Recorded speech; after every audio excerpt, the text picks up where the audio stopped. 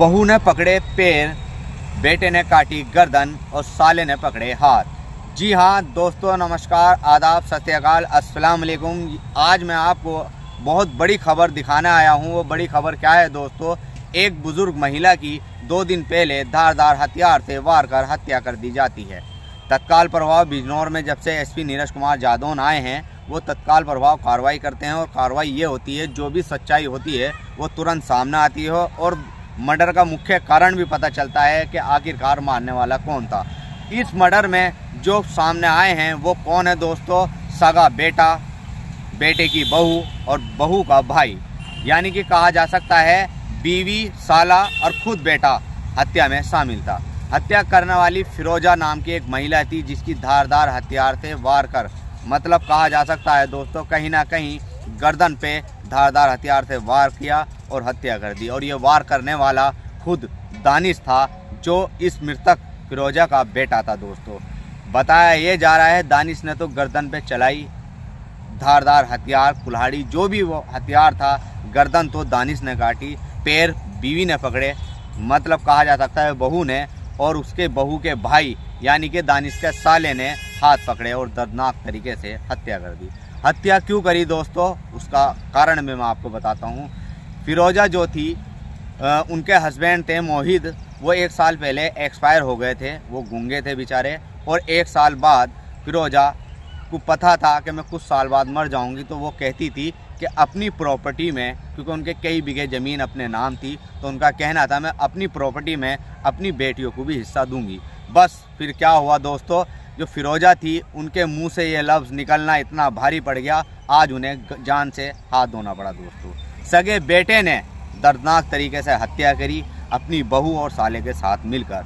लेकिन शायद दानिश को ये नहीं पता था, जो बेटा दानिश है, कि बिजनौर में एसपी नीरज कुमार जादौन हैं। जब से आए हैं, तुरंत कार्रवाई होती है, और जो आरोपी मैन होता है, वो चाहे कोई भी हो, वो जेल ही जाता है दोस्तों। इसी तरीके से हत्या का मुकदमा दर्ज किया जाता है पुलिस एसपी नीरज कुमार जादौन चार टीमें लगाते हैं और पुलिस पूरी बारीकी से जाँच करती है। जाँच में सामने आता है, ये हत्या करने के बाद बिजनौर आए, अल्ट्रासाउंड कराया अलग अलग तरीके से ड्रामे रच रहे थे, लेकिन पुलिस तो पुलिस है दोस्तों, पुलिस ने बारीकी से जाँच की, जाँच में सामने आया कि हत्या करने वाला बेटा बहू उजमा और साला नदीम शामिल है।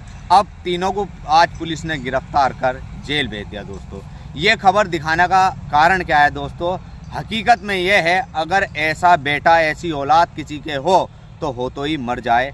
ये मैं नहीं, अगर मेरे दर्शक देख रहे हैं, वो भी यही कहेंगे, क्योंकि ऐसी औलाद को, ऐसे बेटे को बेटा नहीं कहा जा सकता, औलाद नहीं कहा जा सकता। ये तो एक जल्लाद था, जिसने अपनी माँ को काट दिया तो वो तो औलाद हो नहीं सकती दोस्तों।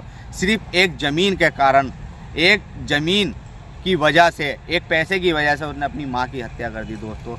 बहू दूसरा खून थी।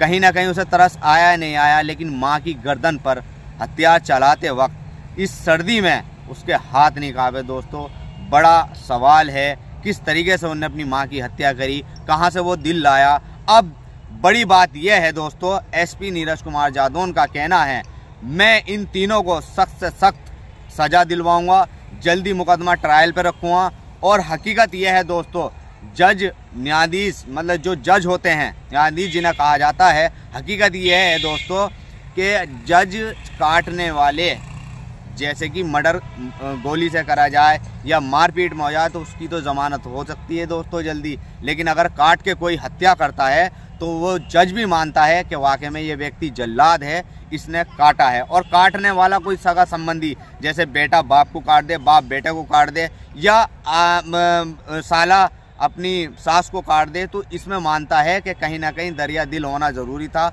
इसे रहम नहीं आया और इसने काटा। तो ये जल्लाद है, ये इंसान नहीं है और इसको सज़ा भी जल्दी मिलती है दोस्तों।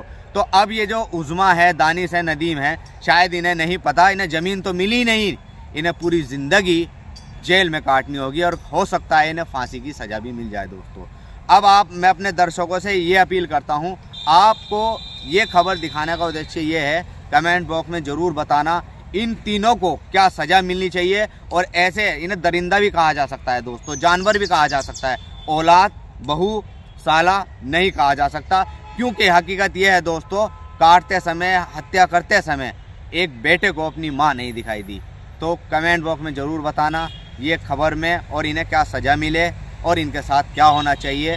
और मैं अपने दर्शकों की तरफ़ से और अपनी तरफ़ से एसपी नीरज कुमार जादौन का शुक्रिया अदा करता हूँ कि वो जल्दी खुलासा करते हैं और जो भी मुख्य आरोपी होता है या जो भी आरोपी शामिल होता है, उसको जेल भेजते हैं। उसका कारण यह है, दोस्तों, आज नदीम भी जेल चले गया। तीनों को जेल भेजना बड़ी बात है, दोस्तों। धन्यवाद।